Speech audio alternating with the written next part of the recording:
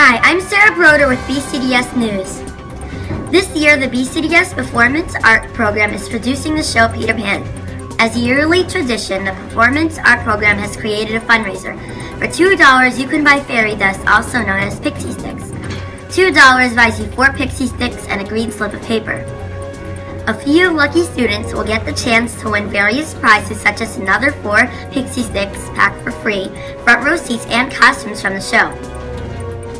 I'm Sarah Broder with BCDS News. Back to you. Hi, I'm Tilly Chamberlain, Chamberlain with BCDS News. Bicultural Day School is very invested and enthusiastic about, about their hard-working sports teams. Fifth and sixth grade teams are putting a lot of effort and time into their games and practices. The boys' teams have been also doing very well this season. Scoring baskets have, has led them to several victories this past year.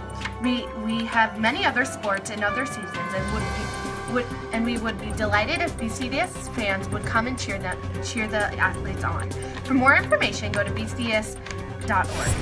With the recent snow days, we'd like to take to the streets and ask some of our pre-K students how they feel about the snow days. Okay. What do you like to do on a snow day? Go to swimming with my brother. Okay. See, there you have it, folks. I'm Ashley Shapiro. Back to you. Good afternoon. I'm Shira Cohen. I'm here to announce that the book club is on the way. Many students enjoy reading and literature. Now they'll be able to share their thoughts and questions with their classmates who enjoy reading too.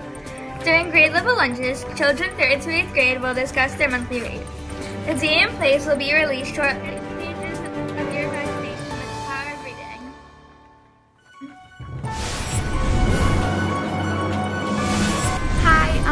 And I'm in 7th grade. I'm involved with the Purim raffle that the 7th graders are in charge of.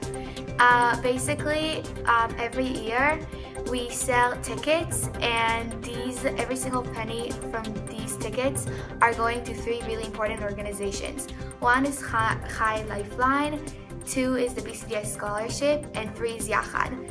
Uh, basically, one ticket is for $3 and four tickets are for $10.